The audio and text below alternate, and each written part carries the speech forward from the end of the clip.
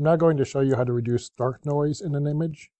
And dark noise typically results from very long exposures at night. Usually you start to see it a lot with exposures over five minutes. But You can definitely still see some with shorter exposures of around 30 seconds, especially if it's warm out. The warmer it is, the more dark, dark noise you get. And it will usually appear as hot pixels where you have one really bright, uh, highly saturated pixel or it can appear as a lot of red discoloration in the image. And one way you can reduce dark noise is by taking what's known as a dark frame. The dark frame you, you will take with the identical settings that you take the rest of your images, but you will put your lens cap on and close the eyepiece of your camera.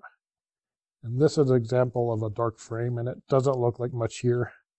But when you zoom in, you'll see that even though the lens cap is on and you're not capturing any external data, you are still capturing all of the dark noise in the image. And this dark noise is going to be nearly identical to the dark noise of your other shots as long as you've taken them near the same time and with the same settings in your camera. And so by simply subtracting all the information that is captured in the dark frame from your normal image, you can reduce dark noise substantially. And this, fortunately, is a very easy thing to do in Photoshop. And I'll first show how to prepare these images in Lightroom. And basically, you need to do no adjustments in Lightroom in order to keep the dark noise in both images the same. So you want to go to the Develop module, and then go down to the Lightroom preset up in the presets panel here called Zeroed, and this is located under Lightroom General Presets. So I will click on Zeroed, and you didn't see any changes to this image because it was already at Zeroed.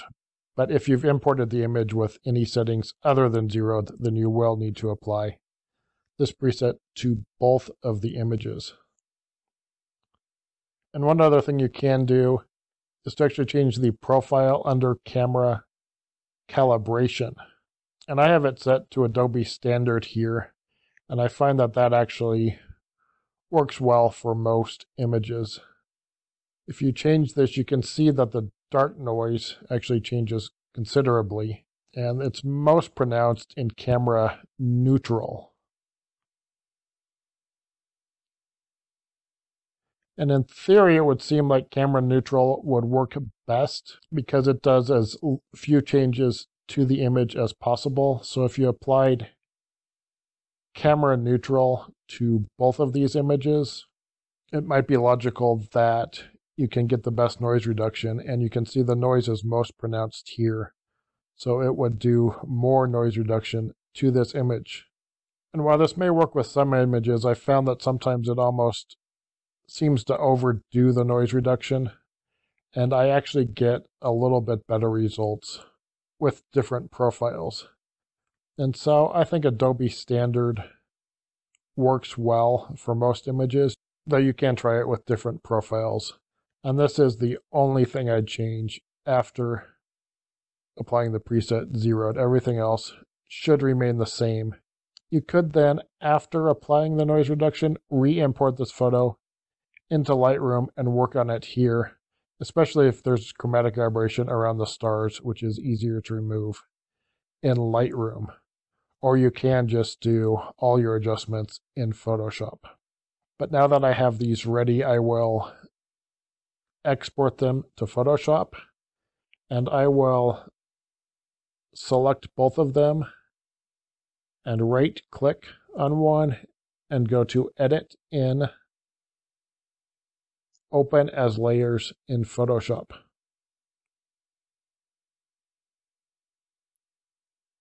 Okay, now once these layers are opened, you want to make sure that the dark frame is on top. So in this case, I'm going to have to drag it up. And now all you need to do is change the blending mode on the dark frame to subtract. And this now subtracts all of the dark noise that was captured in this image from the dark noise in this image. And since the dark noise will be very similar from shot to shot, as long as you took them close to the same time and used the exact same camera settings, it should effectively reduce the dark noise from the image. And I'll show you here a before and after. says without the dark noise applied, you can see a lot of these hot pixels here. And then with it applied, you can see the hot pixels are gone. And some of the red discoloration in the image is also gone. And so this can be a very useful way to decrease dark noise. You can see there is still plenty of noise in the image, and most of this is luminance noise, which you cannot get rid of with a dark frame. You're better off using noise reduction software like Topaz Denoise. Now you may have noticed that this image is rather out of focus, especially the stars. And that is because this is just one frame of a focus stacked image. In this case, I only focused on the near foreground. And then I have three other shots where I focused farther and farther away. And I'll then combine all of these images into one focus stacked image.